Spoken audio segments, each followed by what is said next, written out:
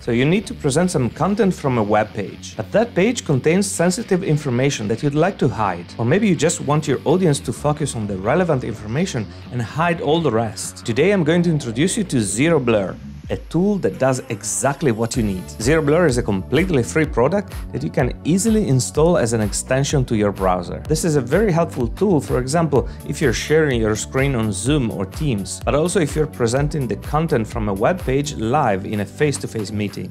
Hi, if we haven't met before, my name is Enrico, and I help you become a remote working hero by adopting the technology that works best for you. So let's go have a look. Zero Blur is made by Div by Zero and by a guy called Massimo Chieruzzi.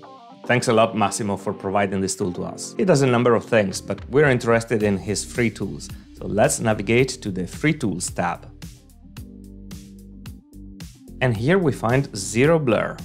Click on Try Now. And let's read what it is. Never again expose sensitive data while sharing your screen.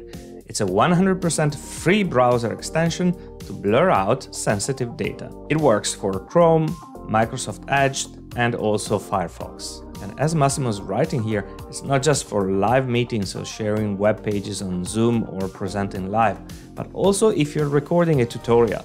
So have you ever recorded a product demo just to realize it contains sensitive data, like personal emails or customer data? I'm on Chrome, so I'll download it for Google Chrome. I'm brought to the Chrome Web Store. Since I've already installed it, then I have the option to remove it. But here you'll see the option to install it. Once installed it, you'll find this icon appearing on your browser tab. So let's select a website where we will test it. I'll choose my own website. By the way, you should definitely check if you're interested in remote working and remote presentations. Once we are on the website, let's click on the Zero Blur icon, make sure that it's enabled, and then click on Edit Blur. As simple as that. You see the tools appearing to the right. Let's see what they do. So the first one is blur element. Let's try it. As you hover over something, then this dotted red line will appear. It means that the element is pre-selected. Now if I click on it, magically it will be blurred out. Let's see if it works also on the image. Yes, it does. With the plus and minus signs, you can increase or decrease the level of blur. So let's go back here. If you click again, it will remove the blur, but let's leave it here and let's increase the blur. 17. So let's say I'm presenting my remote presentation hero OBS Studio from zero to master course, but I want to hide this part here. Just click on it and this element will be blurred out. You can also blur an arbitrary area of the web page. Let's try it. So you can just drag and drop and this will blur only the area that you've selected. It doesn't make a lot of sense here, so let me delete it and maybe let's say I want to blur only the last two sentences of this text and I can do that by dragging and dropping.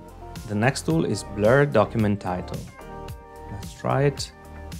I don't really understand what's the difference between Blur Document Title or Blur Element as it does exactly the same thing, just blurring the elements.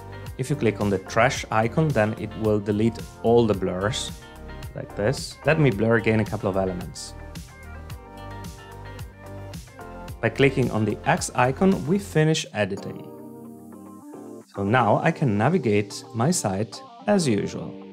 The blur areas will stick to the appropriate section, so I can very easily scroll down and this will look very smooth. The nice thing is that if in a week I will have to redo the same presentation and I will need the same blur effects, then Zero Blur remembers the areas of a website that are blurred. So let me close my web page and let me open it again and the blur is still there. Okay, but what if you need to use the clean version of the website between one presentation and the other? Well, you don't need to delete all your blurs and then redo them. Just go to the icon, click it, and then disable it. When zero blur is disabled, then you won't see any blur and you can use your website as usual. Now when I need the blur again, just click on the icon again and click on enable. Voila, the blur comes back.